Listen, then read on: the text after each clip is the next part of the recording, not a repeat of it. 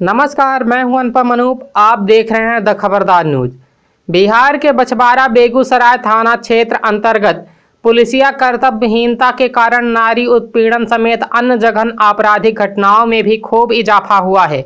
मगर मज़े की बात तो ये है कि क्षेत्र में होने वाली इन आपराधिक घटनाओं के कारण विभाग में अपनी शानदार छवि बनाए रखने के लिए भी थाना अध्यक्ष ने ज़बरदस्त तरकीब निकाल रखी है।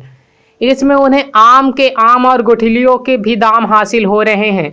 गोविंदपुर तीन पंचायत के रूप समाज की दलित पीड़िता मीना देवी ने बताया कि बुधवार को गाँव के कुछ दबंगों द्वारा पिटाई किए जाने की शिकायत लेकर थाने गई।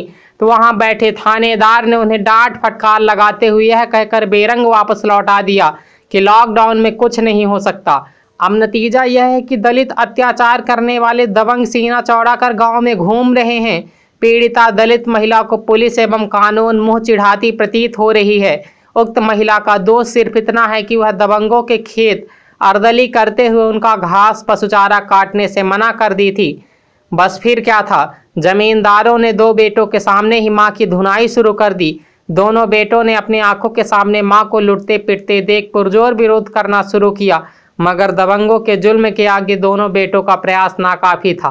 मगर फिर भी दोनों बेटों ने प्रयास से आजिज होकर दबंगों के बेटे के सिर पर हसिया घोप दिया, जिसकी शिकायत थाने में दर्ज नहीं की गई है।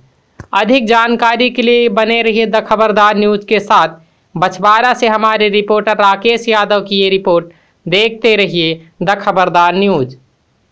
The Khabardar Hindi news channel के साथ जुड़े रहने के लिए the Khabardar Hindi news channel को लाइक करें, शेयर करें, सब्सक्राइब करें और अगर आप ये वीडियो फेसबुक पर देख रहे हैं तो फेसबुक पेज को लाइक करें। धन्यवाद।